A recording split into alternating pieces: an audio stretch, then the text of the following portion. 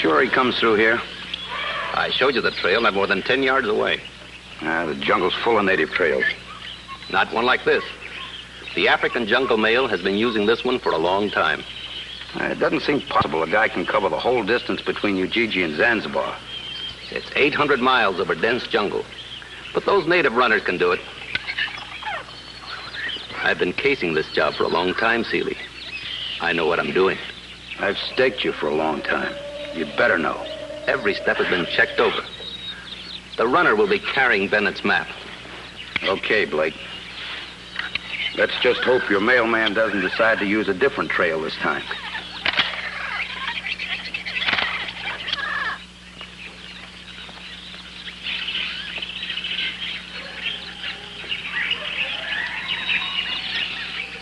You never know who might be wandering around.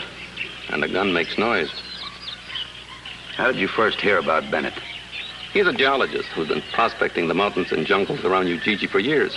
He never stopped trying to make a diamond strike and hoping to make a fortune for his daughter. Finally, he did it.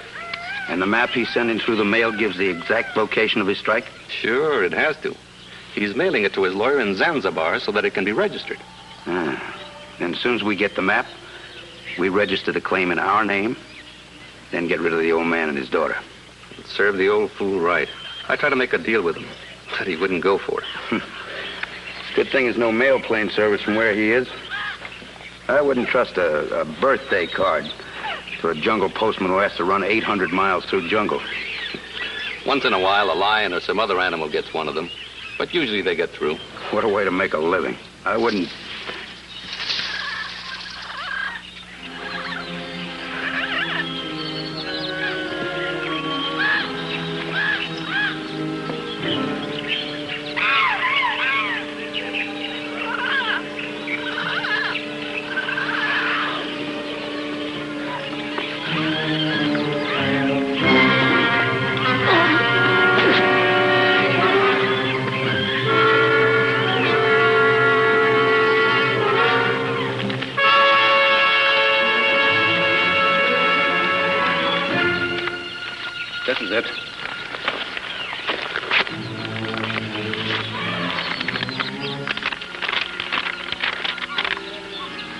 Why, it's only half the map. And you called Bennett a fool. Seems to me he was smart enough to know somebody might try to jump his claim. We're, we're going back to Bennett's place near Ujiji and get the other half of this map. What about him?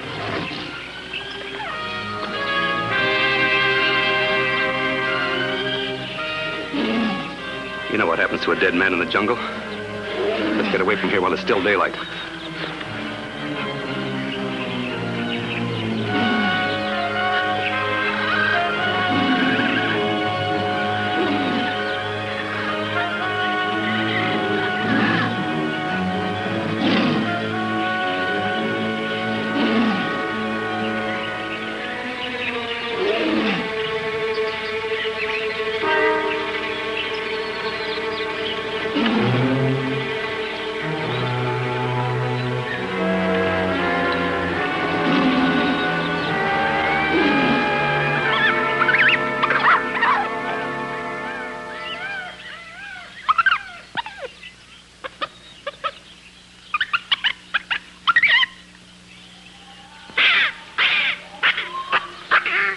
That enough now, Dr. Reynolds? Yes, Willie, that's enough. There must really be a difference between the animal and human sense of balance. Babette was on that swing for exactly 40 minutes and loved every minute of it. Could you do it? Just watching her made me seasick. Well, sure, Howard. Even a child couldn't take 40 minutes of that. As soon as we can, we'll have to do some research into the function of the inner ear that gives us our sense of balance. Babette say swing give her much appetite. Well, I didn't hear her say it, but give her an extra banana tonight anyway. She earned it. Me give.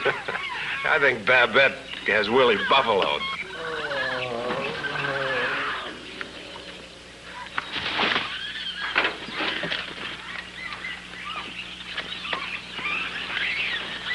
Look at his back.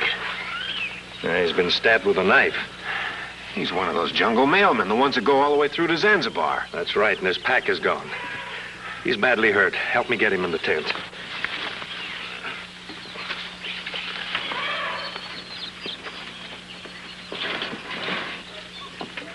Hey, Blake.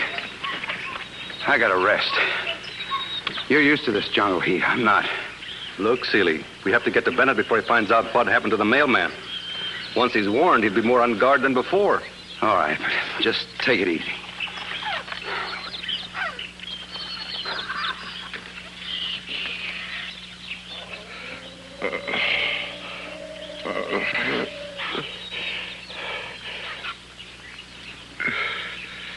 Is he going to pull out of it? I'm afraid not. If we only had some plasma. Can you hear me now? Me, me here. Well, what happened? Who stabbed you? Lyle one. Strangers. Never see before. They, Try to talk. You have to tell me what happened. Bwana Bennett's letter. I know Steve Bennett. Lives with his daughter near Ujiji. Two strangers. Take letter. Find half map. A map? Bwana Bennett wanting claim to diamond mine. He, he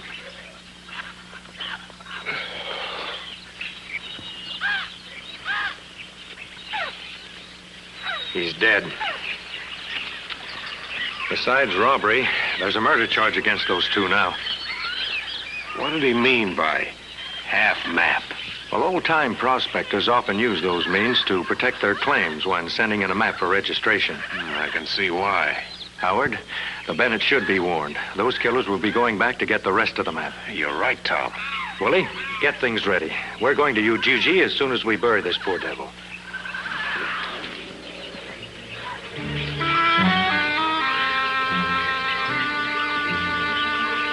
I'm back.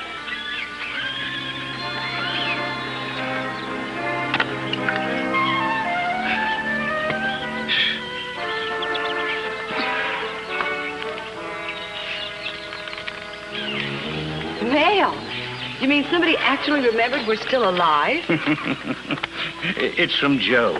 He wants to know if and when we're coming back to the States. he has a right to worry. He's your son.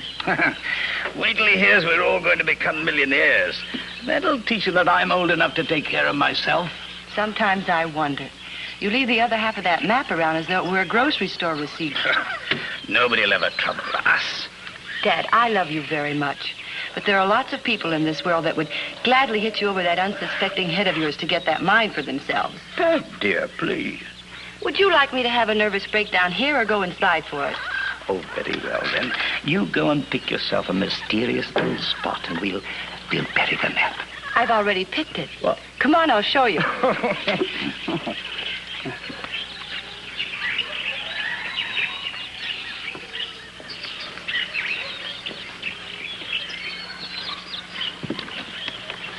Here we are.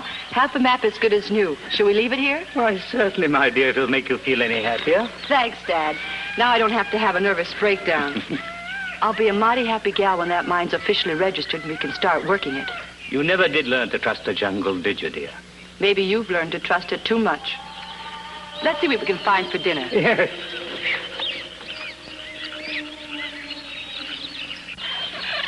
Hey, Tom. We don't have any idea how much head start they have on us. Well, all we can do is hope we're not too late. Don't shoot. If those killers are anywhere around, they'd hear the shot. Better wait till the trail is clear.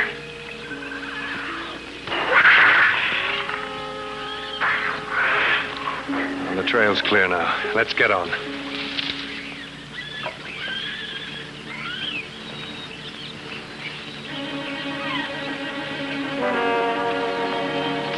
Look, the mail pouch. Pick it up, Willie.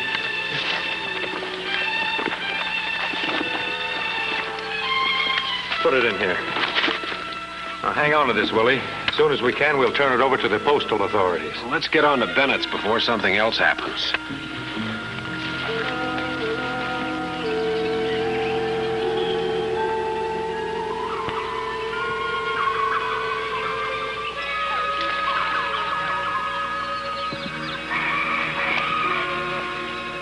Almost midnight. How much longer are you going to wait? They should be in bed by now. We'll leave the stuff here.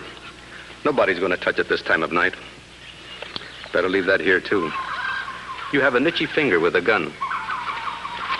This won't wake up the whole jungle. Okay. If there's any killing to be done, it's on you. You worry too much.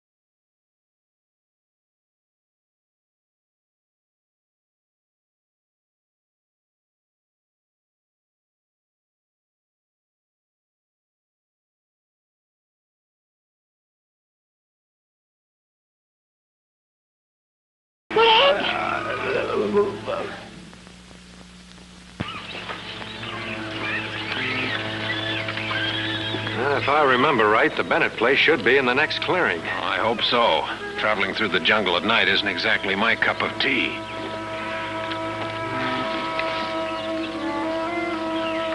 Feeling any better? I'll be all right, honey. I can, I can still raise my arms, so there can't be too much damage. It stopped bleeding. That's a good sign. Thank you for hiding the map, honey. Looks like I'll have to hide you next. Are you sure you didn't get a good look at their faces? No, it, it, all happened so quickly. All I saw was their backs when they ran out. I wonder who could have known about the map. well, anybody within 30 or 40 miles from here. It's hard to keep a thing like that secret. Well, they won't get it. Now, look here, honey. I could have been killed last night, and it could have happened to you just as easy. Now, supposing I had been killed, what would have happened to you? Why, you would have been alone. Oh, now, wait a minute, Dad. Now, you wait a minute. Perhaps Joe was right, and perhaps we should go back to the States. Go, Go back? Just when we get a strike? Do you remember that man who wanted to make a deal with me? Rod Blake? Well, it, it wasn't much of a, an offer, but it, it could have worked out all right, and, and we could have gotten out of here in a hurry. I'll disown you if you let anybody else in on this deal. Just because I'm a girl doesn't necessarily mean you get frightened the first time something happens. My dear, you're worth more than everything else in the world to me. Ramar! Dr. Reynolds, Dad's been stabbed. We were too late.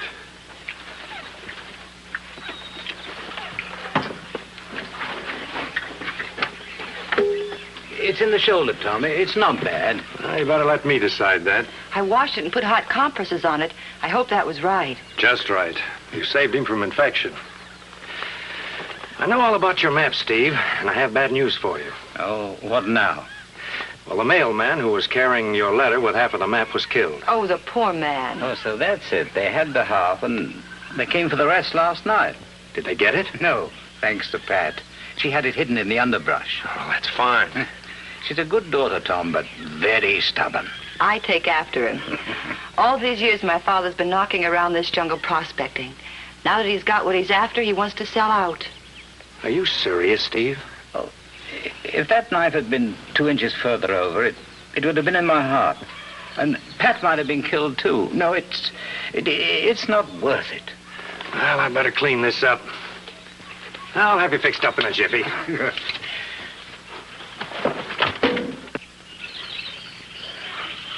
You know, the map could have been where the girl was sleeping. So what? We'll never get another chance to find out. You and your worry about guns. If I'd had my rifle, the girl couldn't have chased us away. When are you going to get some brains? I told you a gunshot would have brought people from the Mordasa village. I've listened to you long enough. I'm getting the map my way. You can come or stay here.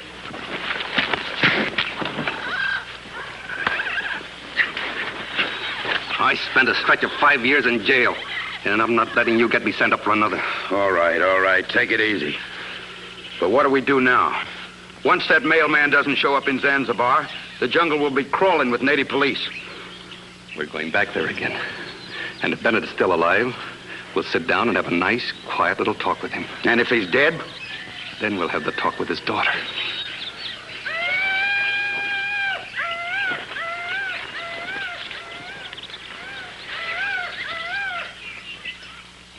That comfortable? Feels fine. That's the second stab wound I've treated in the past 24 hours. The other one was the mailman. You're luckier. Do you think those men will make another attempt to steal the map? I'd say they would. They're vicious enough to do anything. It's possible. I'd better stay here with you tonight. You and Willie camp nearby. Fine. Well, uh, let's see you later, Pat. Bye, Professor Ogden.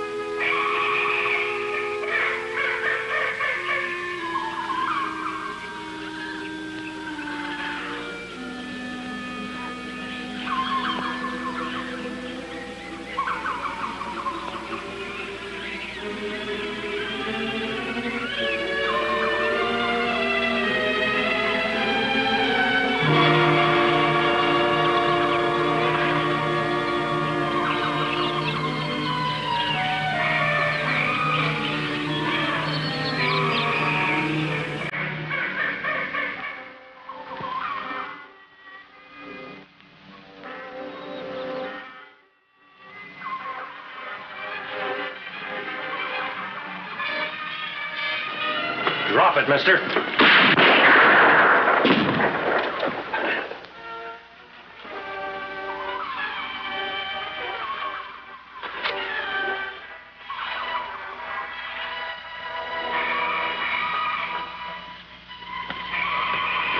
So they did come back. Where's the other one? We heard the shots. Oh. Well, there's one accounted for.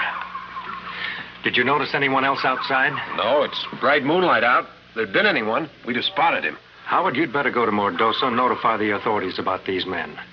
In case we have another visitor, I want to be around. Willie, you go with the professor. Too much people get dead round here. We should be back in the morning.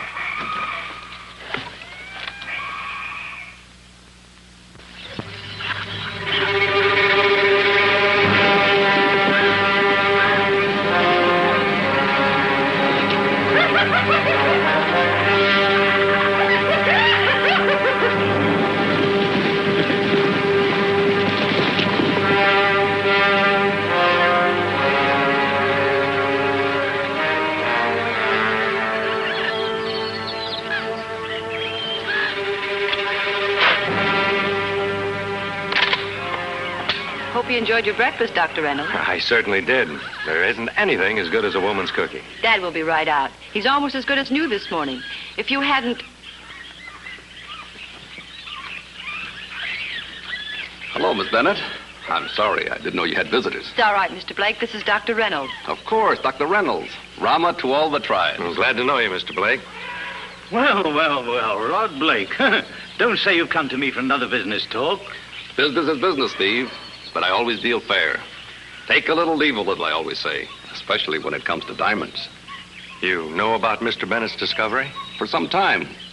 I tried to make a deal with him before. But Steve was smart. He held out.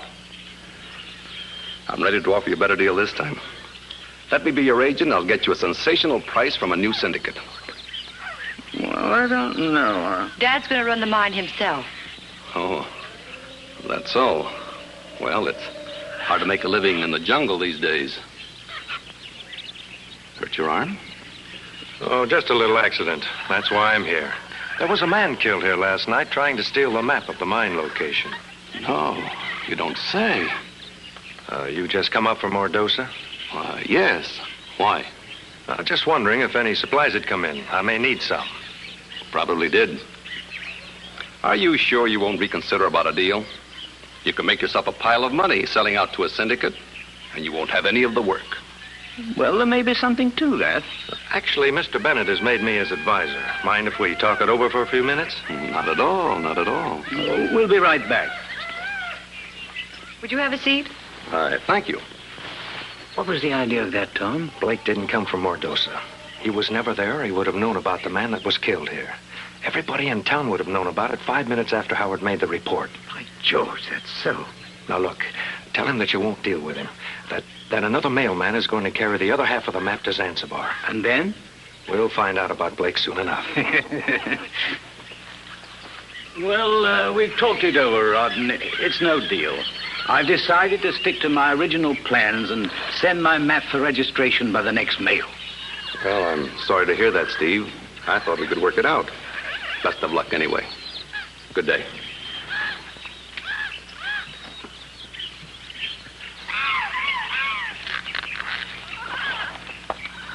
Well, the way you look now, even your own mother wouldn't know you. Me make fine mailman, huh? Jungle lady think Willie much big stuff. Like you say, Professor Ogden all time. Hot diggity, huh?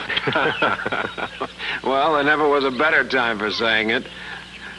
Tom, are you sure Blake will fall for the bait? If he's our man, he'll fall for it, all right. Now remember, don't get too far ahead of us. Don't move too fast. The other mailman was killed, and we don't want it to happen to you. Me be careful, Doctor. Oh, here. Thank you. Well, you're all set, Willie. Start moving.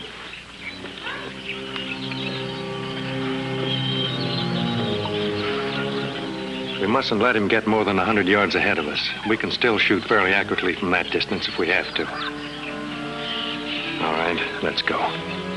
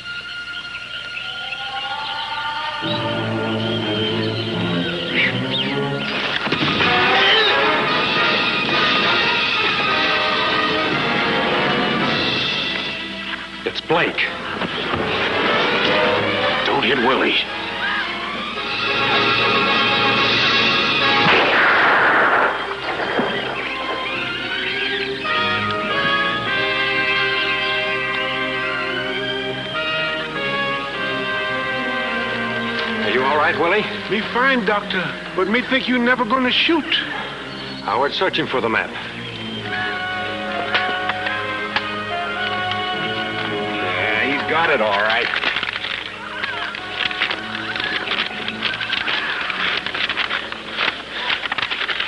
We're taking you in. The authorities will take care of you in short order.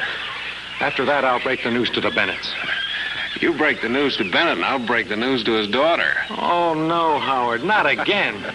Well, it's just research. You know, research, Tom. Research. Yeah, I want to find out why I get so dizzy just looking at a pretty girl.